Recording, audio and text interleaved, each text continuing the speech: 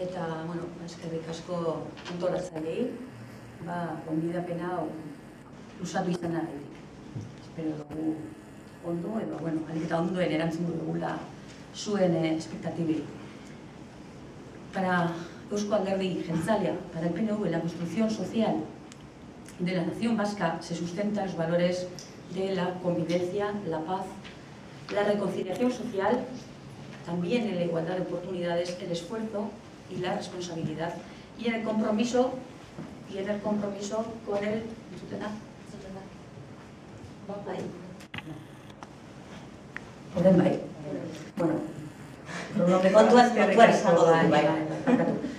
Orduan, guretzat, para nosotros la construcción social de la nación vasca se sustenta en los siguientes valores, convivencia, paz, reconciliación social, en la igualdad de oportunidades, el esfuerzo, la responsabilidad, en el compromiso con el bienestar de la ciudadanía y también en el equilibrio territorial. La construcción social depende, a nuestro entender, en gran medida de la educación que seamos capaces de impulsar. El camino recorrido en esta materia, en materia educativa, es digno de elogio. Aún así, tiene muchas posibilidades de mejora.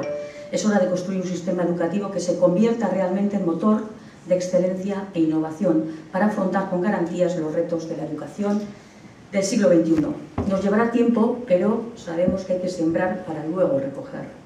Porque para nosotros, para el JPNV, la educación y la formación son herramientas básicas al servicio del futuro de nuestra sociedad, necesarias para el desarrollo personal y profesional, como no, para mejorar también la competitividad y para la cohesión social y la convivencia ciudadana. El futuro de nuestra sociedad y el del pueblo, de nuestro pueblo depende de las políticas educativas que construyamos día a día con la colaboración de la comunidad educativa. Y siete minutos tengo y siete compromisos que quería comentar. Voy a citarlos para que no se quede ninguno.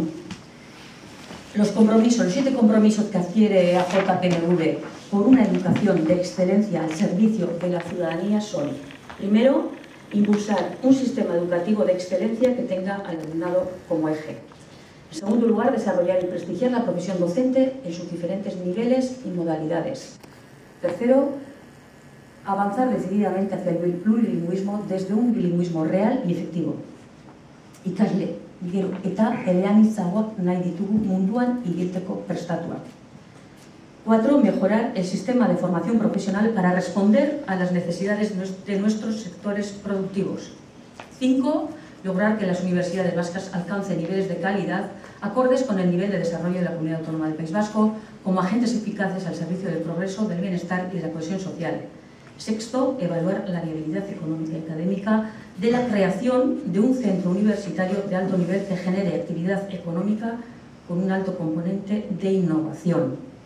Y séptimo, y yo diría que eh, la columna vertebral del documento y de nuestro programa, la sociedad nos pide marcos estables y en la educación es un clamor desde hace tiempo.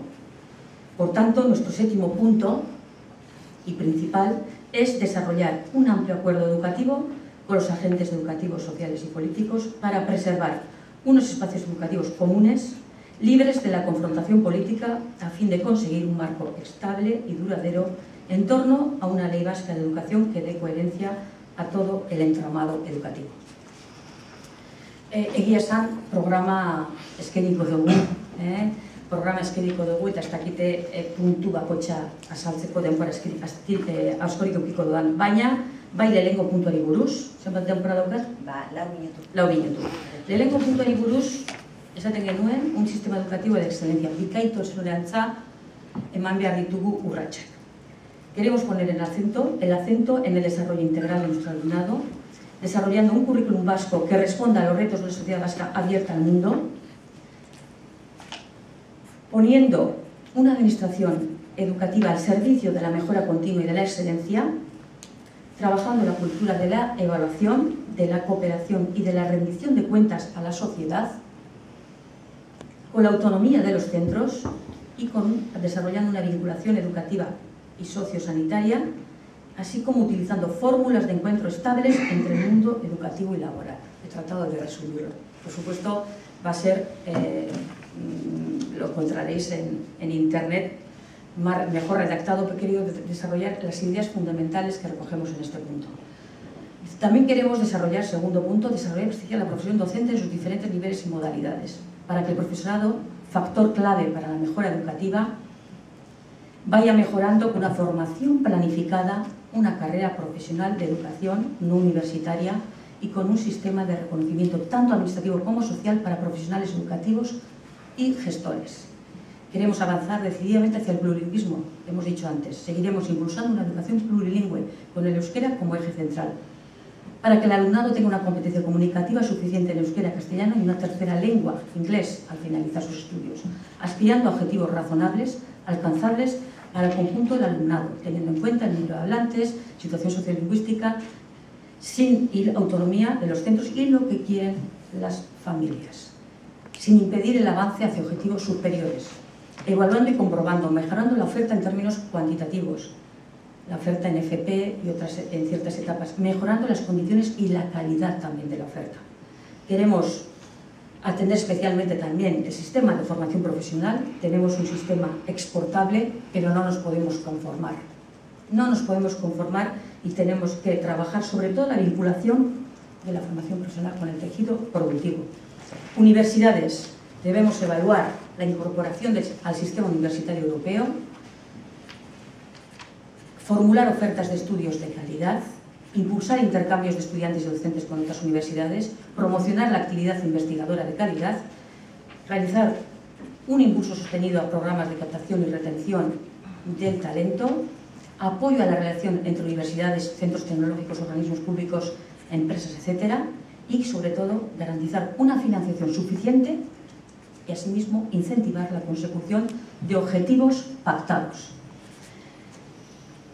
Por supuesto, queremos también, como he dicho antes, evaluar la viabilidad económica académica de la creación de un centro universitario de alto nivel. Evaluar la viabilidad. Sabemos que, es, que probablemente sea difícil, pero no, no queremos pasar por alto la evaluación de esta posibilidad. Y por último, la sociedad nos pide, hemos dicho, marcos estables. Vamos a trabajar en cada uno de estos puntos, pero creemos que sí que hay un, un espacio común y una serie de aspectos que tienen que ser tratados por todos y consensuados por toda la comunidad educativa. Tiene que haber un acuerdo político, también en, el contexto educativo, también político en relación con la educación. Nos lo reclaman los centros públicos, nos lo reclaman los centros concertados, nos lo reclamáis vosotros. No puede pasar el siguiente mandato, el siguiente gobierno, sin conseguir este objetivo.